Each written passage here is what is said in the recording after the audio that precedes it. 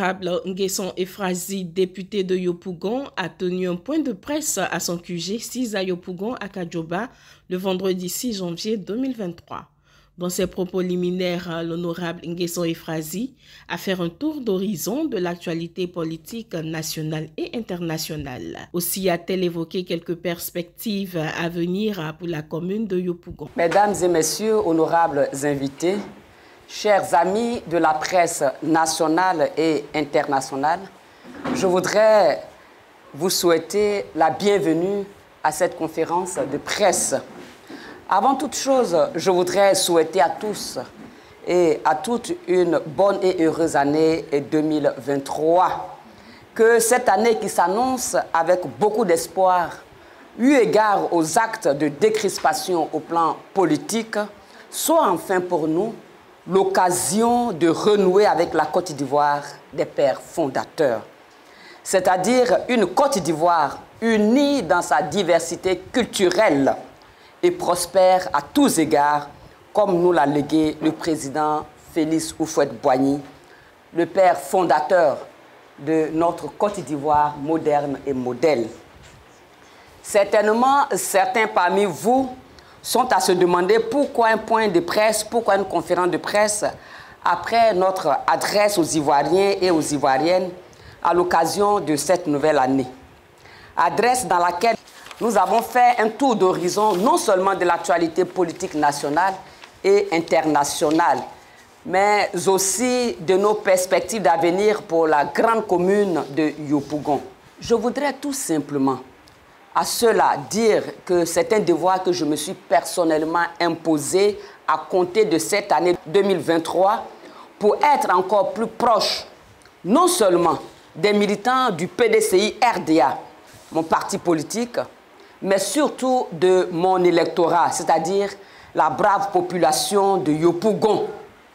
Et là, je fais un clin d'œil aux jeunes, à cette belle jeunesse qui est le fer de lance de la Côte d'Ivoire.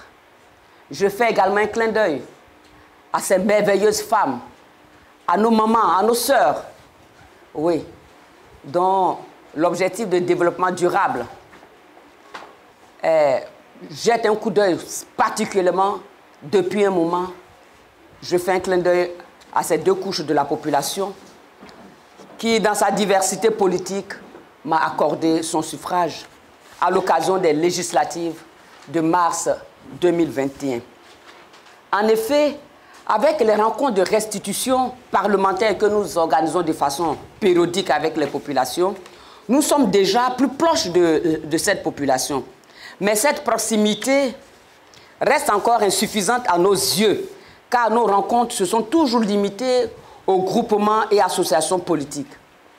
Or, comme vous le savez, notre ambition est d'aller au-delà pour faire un corps à corps, pour opérer un corps à corps avec chaque militant, avec chaque électeur de la grande commune de Yopougon. Et nous pensons qu'il n'y a pas plus, plus, plus grand moyen de le faire que d'utiliser les médias écrits, audiovisuels et en ligne. Ainsi, nous préservons nos populations des effets pervers des rumeurs et des fake news. Mais en même temps, nous leur donnons les informations vraies relativement à l'actualité nationale et internationale.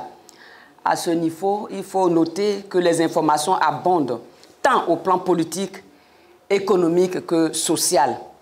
À ces différents niveaux, les attentes des populations sont nombreuses. Elles partent des élections municipales et régionales qui s'annoncent jusqu'aux élections présidentielles 2025, en passant bien entendu par les problèmes de réconciliation, tant au plan national qu'au sein des partis politiques, sans omettre les questions de la cherté de la vie, celle des 46 soldats ivoiriens arrêtés au Mali et bien d'autres préoccupations. Voici autant de questions qui méritent d'être expliquées à nos braves populations. Et cette conférence de presse est pour nous le prétexte tout trouvé. Je suis donc à votre disposition, chers amis de la presse nationale et internationale, pour toutes les questions relatives à cette actualité, tant au plan national qu'international, que vous voudrez bien me poser pour la bonne compréhension de nos populations. S'agissant de l'affaire des 46 soldats, la cherté de la vie et les élections de 2023, voici ce que dit l'honorable Nguesson Euphrasie. Je voudrais vous informer qu'au niveau de l'Assemblée nationale, nous avons eu une séance d'information parlementaire où l'émissaire du gouvernement nous a donné les explications sur euh, cette affaire et nous expliquer pourquoi cette affaire se déroule ainsi. Nous avons compris, mais ce qui était essentiel pour nous, c'était à quand le retour de ces soldats. Mais je voudrais préciser et dire que nous avons constaté depuis quelques instants une médiation diplomatique. À ce niveau, je voudrais saluer les dirigeants de nos deux pays, aussi bien euh, du Mali que de la Côte d'Ivoire, pour cette sagesse qui les habite. Voyez-vous, au Mali, il y a une forte communauté ivoirienne. Et en Côte d'Ivoire, il y a une forte communauté malienne. Nous vivons depuis très longtemps, des décennies en symbiose. Nous vivons ensemble. Nous faisons partie d'organisations internationales. Et donc, c'était très important que cette histoire se règle par cette médiation le père et le fils se parlent, ils s'entendent. Et je pense qu'il faut que la population soit au courant de, l'avancée de cette médiation. Le père et le fils, c'est-à-dire le président Alassane et le président Goïta se parlent. Et je pense que d'ici peu, une issue heureuse sera trouvée à cette situation, à cette incompréhension, je voudrais bien dire, et que nos, enfants, nos frères vont rentrer dans notre pays. Que la cherté de la vie pas seulement en Côte d'Ivoire, est devenue internationale. On vient d'apprendre que l'électricité, le, gaz en Europe, en France, a eu une hausse de plus de 15%. Nous, en Côte d'Ivoire, on n'est pas en reste. Au niveau de l'Assemblée nationale, nous avons travaillé sur la question. Nous avons demandé à l'exécutif de prendre des mesures idoines pour pouvoir vraiment faciliter la population dans cette vie qu'elle mène difficilement. C'est pourquoi nous saluons cette année de la jeunesse pour réveiller la conscience des jeunes et pour leur montrer que leur participation au développement de la nation est très importante. Au niveau de, de Yopougon même, nous travaillons aussi avec les associations des femmes pour leur montrer quel type d'activité qu'elles doivent mener pour générer vraiment des, fonds à l'effet de leur permettre de pouvoir subvenir à leurs besoins. Vous savez que ces, femmes sont, sont des personnes très vulnérables et elles ont besoin vraiment d'être soutenues. Si euh, les Nations Unies ont, ont, mis en place vraiment euh, euh, un pan, une plateforme pour, pour aider ces femmes-là, cela n'est pas fortuit. Et donc, vous voyez qu'au niveau même de, de la nation tout entière, tout est mis en œuvre il y a l'augmentation des salaires, on essaie de voir comment il faut baisser les prix, on essaie de conjuguer nos efforts pour pouvoir faciliter la vie à nos populations. Mais ce n'est pas tout.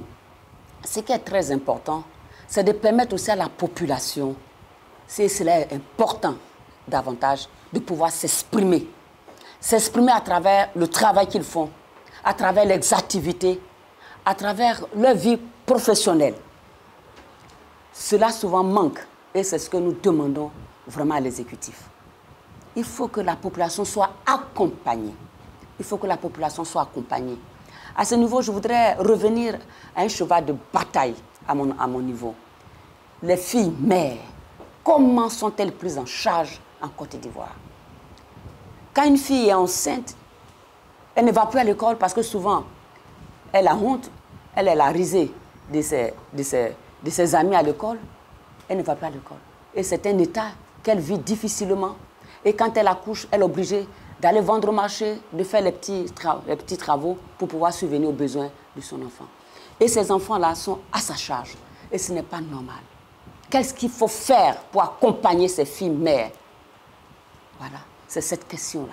Nous l'avons posée à plusieurs reprises et nous travaillons dessus pour faire une, faire une proposition de loi. Le PDCI RDA n'a pas encore donné la liste des candidats euh, pour le compte du parti.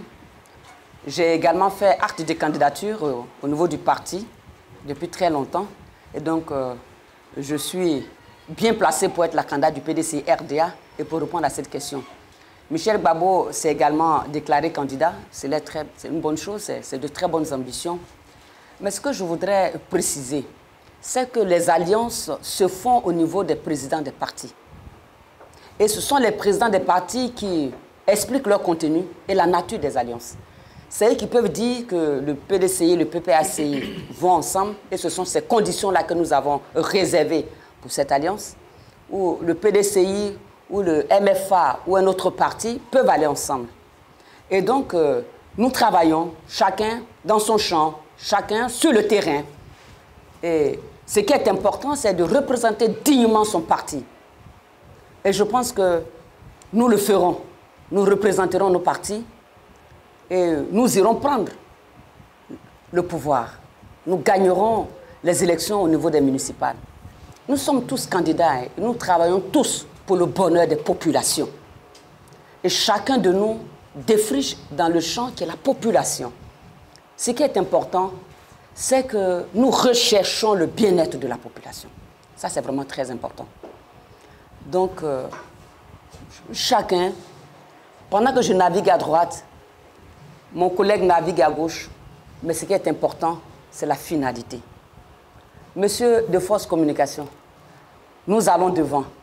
Et c'est devant que nous verrons qui gagnera.